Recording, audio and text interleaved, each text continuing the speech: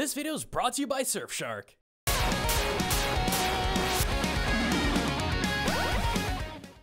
Hey everyone, Gaijin Goombah here. You know, it still kind of tickles me to this day. Back when I told people that I was getting really, really big into Warhammer 40k, everyone and their mom was like, ah, Gaijin Goombah, he's that giant weeb on the internet, right? Of course he'd like the Tau. Of course he'd like the faction that has giant mecha and way too many samurai parallels. It only makes sense, right? But ha! Showed you people! We're Orky till the day we die. You ever seen our collection? Yeah, check this out. Stompas, Death Dreads, Killa Kan, Squigs, and Boys. With Dakka in hand, we green to the end, and we's making noise! Whoa! You good? Yep. Ugh. Well, Little G isn't wrong. In fact, we went into a two-part series not that long back talking about the Greenskins' cultural connection with the UK. But my love of Impractical and Carefree Dakka aside, in all honesty, yeah, I actually really do like the Tau. I've always told myself if I want to have fun with 40k, I'll play with orks. But when I have to take this franchise seriously, which is rare, I side with the Tau. I mean, just look at this. Yeah, I got a bias for mechs and optimism, and I don't care. I love the actual sci-fi look to the units, their energy-based weapons, and I find the Tau to be an upliftingly unique race amidst the horde of generic fantasy races, but in space. Now, they are under the rulership of a totalitarian regime that uses aggressive, manipulative propaganda programs to keep Tau citizens ignorant of the horrors of the 40k universe, all the while exerting universal power and control over the populace, with Commander Farsight and his enclave being the only ones to really learn the truth. See, I don't get that. They're centuries ahead of mankind with tech and game and a millennia ahead of us in real life. How did not a single Tau, Farsight enclaves especially, never develop something like a VPN? Well, despite 40,000 years of advancement and countless high-tech races in space, no one's ever developed the internet. But we do have it, and we have the tools to protect ourselves from censorship, identity theft, and not being able to watch Letterkenny without a Canadian IP address. Thanks for that, Hulu! And I do that with Surfshark. Now, if you've never heard of a VPN, basically when you connect to one, you're running your IP address through a separate encrypted server, which means if anything or anyone is trying to get your info, rather than seeing your IP address, it sees the VPN server that you're connected to. This not only protects your information from Trojans, hackers, and identity theft, you can also skirt around region locks by connecting to one of Surfshark's VPN IPs in other countries, giving you access to sites and services you originally may not have access to due to your location. But what makes Surfshark stand out against other VPNs is the myriad of additional services that it provides, such as a kill switch that'll drop your internet connection should your VPN connection drop, a one subscription unlimited devices policy, allowing you to have protection on every single smartphone, computer, and tablet in your household, an IP rotator that constantly changes your connected IP address just to give these digital predators an even greater run around, and my personal favorite, a cookie pop-up blocker that just... Oh my god, I hate these pop-ups so much. So if you want to jump on the net with a strong peace of mind, hit up surfshark.deal slash gaijingoombah, link also in the description, and use the code gaijingoombah for 83% off your plan. And hey, you know, while we're at it, let's throw in 3 months extra for free. And if you end up not liking it, you got a 30-day money-back guarantee. So don't fall prey, get Surfshark today! Alright, little G, that one was a bit goofy. Uh, anyway, to get back to my 100% predictable love of the Tau, I'm just gonna tell you right now, I do not love Tau because they're Japanese weebait. Cause they're not Japanese. Not by a long shot. Rather, they're Chinese, which, in my opinion, makes them far more interesting. But before I get into that, let me preface with a few things. One, I do not at all think GW planned for most of these cultural connections I'm about to drop. I'm actually 99% certain this is all a string of coincidences. I mean, GW introduced the Tau all the way back in 2001, and only with a few exceptions, the connections that I have between Tau and China today really hadn't come to pass until after the 2010s.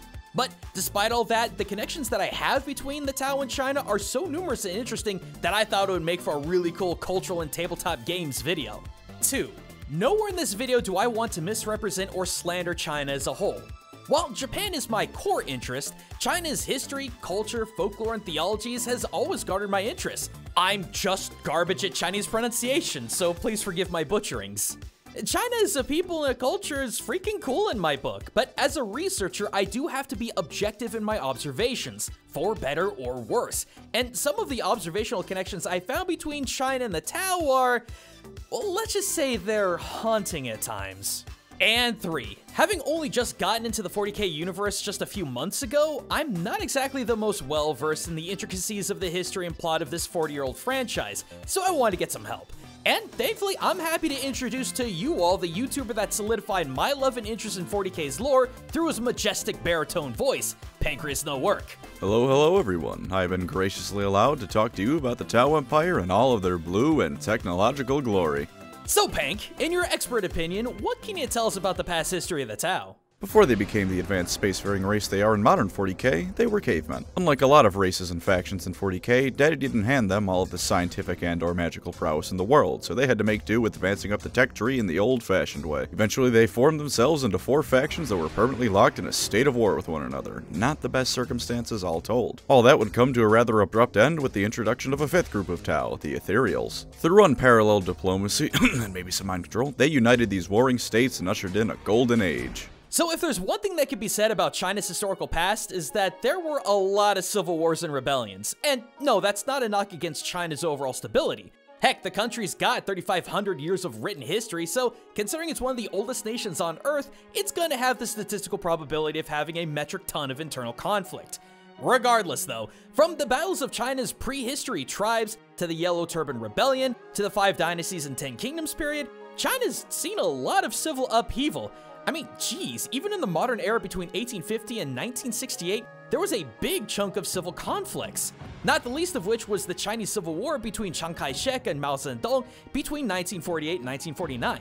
But despite the years of hardship after Mao took power, this was mostly the end of China's centuries-long pattern of civil wars, mirroring the cultural lead-up between the warring tribes of the Tau and their unification under the Ethereals. Funny you mentioned Mao, because the social structure the Ethereals placed in the Tau is where the whole concept of the blue-skinned fish people being commies comes from. The Ethereals, once they united the Tau, formed them into a caste system based on which of the four empires they previously belonged to. The Ethereals naturally sit at the top of this caste system, but for the rest of them, calling it a caste system is a bit tricky. None of the castes aside from the Ethereals are actually more or less than the others, they just have differing roles. That being said, you can't switch caste. There's no social mobility at all in the Tau Empire, and the Ethereals' control is such that they mandate when and with who you make children with for the good of the Empire. Every action you take must ultimately serve the greater good, be that what is actually best for the Empire or what the Ethereals want done at any given moment. First off, the Fire Caste. As a war game, these fellas naturally get the most attention. They're the folk you see most in the artwork, the ones with the most presence in the setting, and the ones who get gunned down whenever a Space Marine needs to be shown looking cool. They're built for war and nothing but, and do everything from piloting battlesuits to fighting in the trenches. They're even genetically modified to be stronger and taller than normal Tau, though they are still shorter than most humans and roughly as strong as the average guardsman. It may be a meme that the Tau don't go to melee combat, but it's a meme for a reason. Besides, would you want to get in chain axe range of a Khornate Berserker? After them is the Air Caste. They're the Tau that are in charge of piloting vehicles that aren't battle suits, so if you see a Tau aircraft or spaceship, there's probably an aircraft member bombing whatever's below them into oblivion. Air Caste members are even genetically modified to handle extreme G-forces to make them all the better at being pilots. Then there's the Earth Caste, the Tau in charge of creating and maintaining technology. If you've ever been mad at the Tau railgun because it ignored your invulnerable save and sent Guilliman straight to hell, you can thank these fine lads for that. Finally, we have the Water Caste. These are the Tau diplomats, spies, and all the other Black Ops stuff you'd expect. On the one hand, the Imperial Inquisition actually considers them to be the highest priority threats. This is because Tau propaganda causes the Imperium more losses in manpower and equipment from defectors than any Fire Warrior could ever hope to. On the other hand, this is a war game setting. No one wants to hear about things being resolved peacefully, they want shooty shooty bang bang, so don't expect too much presence from the Water Caste in the lore. That being said, there's a Tau diplomat in a Caiaphas Cain book with more personality than 90% of all Imperial characters, so they've got that going for them.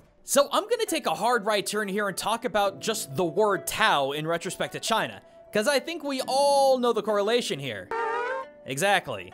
See, a lot of people love to say Tau's castes of fire, air, water, and earth are popular because Avatar The Last Airbender was popular. yeah, who would, who would do that? But really, the Tau caste system has five, not four elements. The ethereals count. Now, let's look at the other Tao. Within the philosophy, there are five elements of fire, earth, metal, water, and wood, each one acting as a checks and balances system for the others. But unlike our more alchemical comprehension of the four elements, the five in Tao represent quite literally all things. The five elements are associated with five colors, five tissues, five hollow and solid organs, five emotional states, planets, heavenly animals, virtues, senses. I mean no hyperbole here when I say that the five elements of Taoism corresponds with all things in existence. And All these things which the five elements are bound on must stay in complete balance. An excess of the fire-related emotion of joy, for example, is just as problematic as the metal-related emotion of sadness or the water-related emotion of fear in Taoism. This is basically identical to the sociological philosophies of Tau society. Each of the five elemental castes represent a separate aspect of Tau life, yet they are all seen as equally important. Fire caste warriors are just as important as water caste diplomats. Earth caste engineers and the ships that they make are just as important as the air caste aeronauts who pilot them.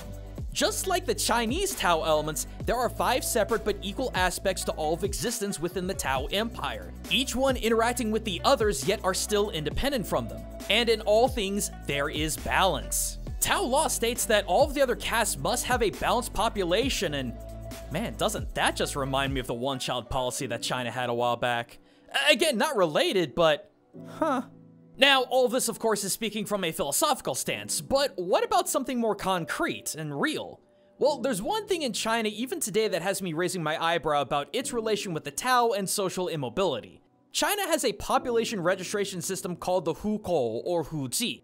It's basically a form that contains your legal address, sector of activity, religion, physical description, and your status of either being urban or rural, and it's this last one that's causing a bit of an issue in China.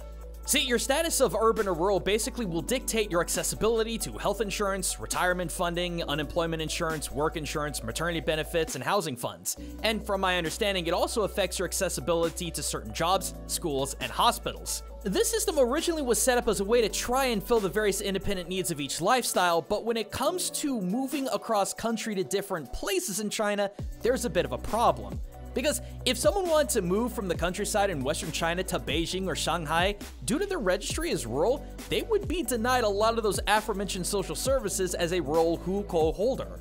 That doesn't necessarily mean you're screwed as a rural holder. After all, you do get preferential allocation of residential land and have some unique flexibility with government issue mandates like the One Child Act back in the day. But the point is, in China, where you're born and what status you have is typically where you're gonna be stuck.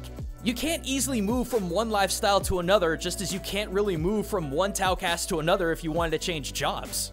Though despite the rigid system the Tau set up, they flourished as a society faster than any other race in the galaxy. The only other races who likely advanced faster than them were the Eldar and the Krork, and that's cheating because the old ones gave them everything they could ask for and more if not outright creating them. Sorry to say, fans of the boys, but the Orks had access to second-hand creative mode at first. As for the Tau, it was largely by themselves. While older lore hints at the Eldar having a hand in their creation, and newer lore suggests they trade with the Votann, they were completely isolated from the rest of the galaxy for millennia. To say everything the Tau did was in the hands of others is just plain not giving them enough credit. Cut off as they were, they went from a group of Stone Age primitives to a galactic civilization in just a few millennia. Sure, they don't have equivalents to the higher end stuff the other factions have, but that's just because those societies have been around for tens of thousands and in some cases millions of years. To say they're not as intelligent because they didn't have 65 million years of galactic dominance like the Eldar is just dismissive. Likewise with China. Between 1978 and today, China went from being the cheap labor, goods, and manufacturing center of the world to the second largest world power. Come the turn of the millennium came the turn of Chinese GDP. I know that really doesn't seem like a real one-to-one -one connection with the Tau, but how funny is it that both of these two societies went from dismal to dominant faster than any other societies in their comparative universes? There's something neat about how the Tau went about expanding their realm once they got into the galaxy at large. They didn't just do it through war. Oh sure, that's a tool they have in their arsenal, don't get me wrong. Again, tabletop war game. The Tau are more than willing to throw hands if the situation calls for it. But unlike almost anyone else, they prefer to use soft power to expand. I mentioned earlier that the water castes are considered higher threats than any fire caste members, and it's with good reason. There's a wonderful bit in a Caiaphas Cain novel where Cain and company make a truce with the Tau because Tyranids coming to eat everything in a 20 light year radius is a bit more pressing of an issue than a border skirmish. The water cast diplomat even says that the Tau will happily help rebuild the planet the fighting was on, and this makes the Imperials balk. Why would they complain about free help? Well, because the buildings and material would come from the Tau, the Tau would be overseeing the reconstruction efforts, and the Tau would be the ones getting all the credit for it. Whether or not the Tau took over at that point would be irrelevant, because the populace would be on their side once all was said and done. It's easy to hate the Xeno when he doesn't give you free housing, basic living conditions, and all that other stuff that the Imperium doesn't. This isn't a hypothetical fear either. The Tau have done this with other alien races such as the Kroot and Vespid. They're happy to make nice with other races, both out of a belief that it's the right thing to do and because they usually come out on top in these matters. They'll even let you keep your religion, though you'd best put the priorities of the greater good over the Emperor. Now, there have been a lot of things that China's done over the last 20 years to develop its diplomatic soft power worldwide, but the most ambitious has been their Belt and Road Initiative. though it was once called One Belt, One Road Initiative, I wonder why, and before that, a strategy called the Silk Road Economic Belt back in 2013. And that's honestly what it looks like. Like the Silk Road of old, it's a major trade route that hits shipping and trading hubs all over Asia, Africa, Europe, and the Middle East. However, unlike the olden days when the control of trade was founded at the tip of the sword, in 2013, China started doing it by loaning out a trillion dollars to 150 different countries, most of which were underdeveloped and struggling. In this, China offered money to countries like Tajikistan, Sri Lanka, Pakistan, Kenya, Ethiopia, and Bangladesh with very little in the way of stipulations in order for these countries to develop better infrastructure. However, the building of said infrastructure, such as ports, power plants, rail systems, and so on, were to be done by Chinese companies, not domestic ones. And if the countries couldn't pay back on their loans, which many of them can't right now, then China would either lease their territory or take natural resources as collateral. The overall goal of these loans, theoretically speaking, is that China would loan the money to politicians with no oversight. Politicians of struggling nations would use it to win over the hearts of people as infrastructure was being built, and then the people and politicians would see China as saviors where Western powers and the global bank failed them. Therefore, these people, politicians, and countries would be more ready and willing to back China's side of things during things like UN votes or other international stage theater. Isn't that exactly what the Tau are doing to Imperial worlds in 40k?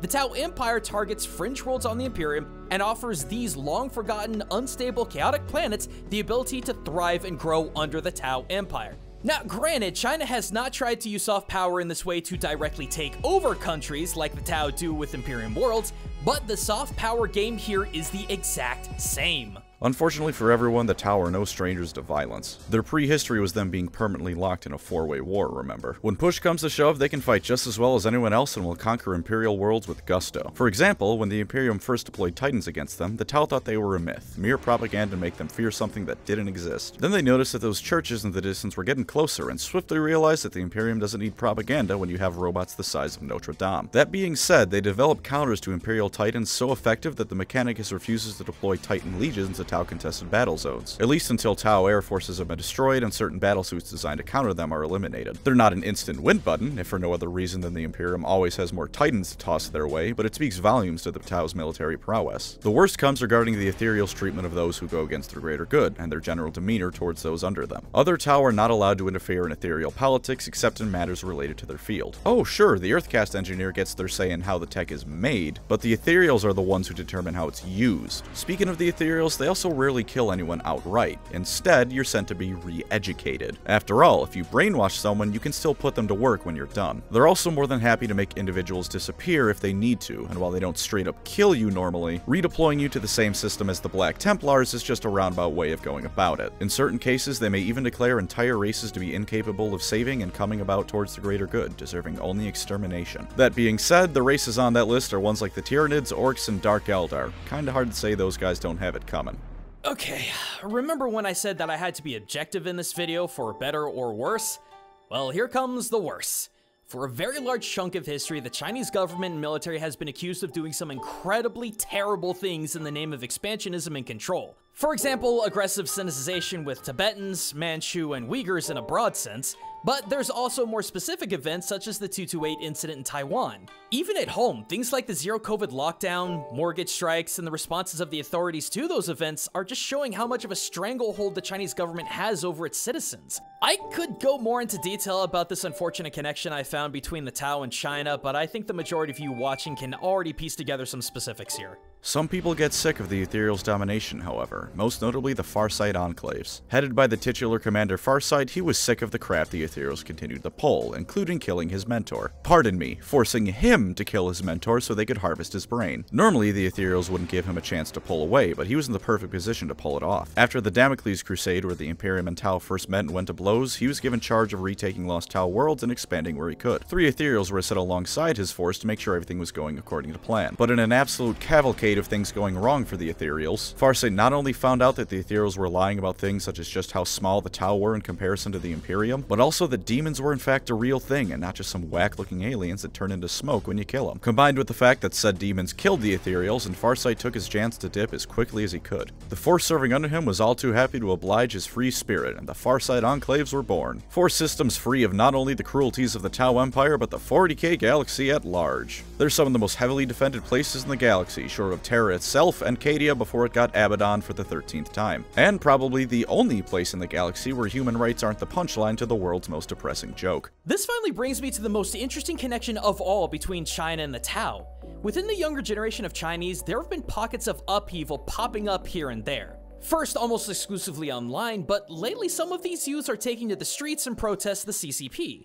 Rooted in frustrations of the aforementioned zero COVID policy, poor housing market, and exposure to exterior social media, there's now some headbutting between Little Pinks, the internet name for young Chinese nationalists, and Rebels, the name for Chinese youths who are reassessing what they've been taught, thinking about it for themselves, and pushing back against it. One of my favorite examples of this is a Chinese gamer in 2021 who thought it was kinda dumb for the government to ban a bunch of games out of nowhere.